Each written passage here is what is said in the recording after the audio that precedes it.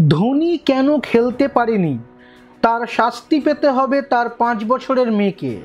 এমন বিকৃত মানসিকতা প্রকাশ্যে আসায় বিষয়টিকে হালকাভাবে নিচ্ছে না ঝাড়খণ্ড পুলিশ।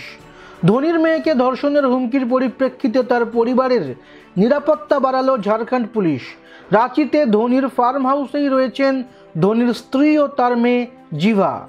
তাদের নিরাপত্তা বাড়িয়ে দিল রাঁচি পুলিশ।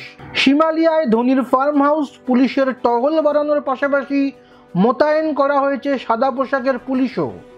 রাঁচি রুরালের এসপি নওসাদ আলম সংবাদ মাধ্যমে জানিয়েছেন, ধোনির ফার্ম হাউসের সামনের রাস্তায় পুলিশের টহল অনেকটাই বাড়ানো হয়েছে। পাশাপাশি কোনো ঘটনা ঘটলে যাতে সঙ্গে সঙ্গে ব্যবস্থা নেওয়া যায়, তার জন্য বাহিনীও তৈরি রাখা হয়েছে। উল্লেখ্য, কলকাতা নাইট রাইডার্সের কাছে দশ রানে হেরে যায় ধোনির দল। তারপরেই ধোনি ও তার স্ত্রীর ইনস্টাগ্রাম অ্যাকাউন্টে তাদের মেয়েকে ধর্ষণের হুমকি দেওয়া হয়।